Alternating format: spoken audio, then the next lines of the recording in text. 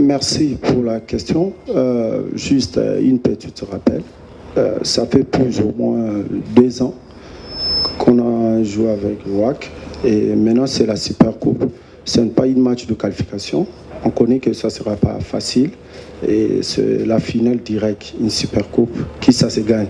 Ça se joue et ça se gagne. Mais on est là, on est soudés, on est serein pour remporter cette Super Coupe.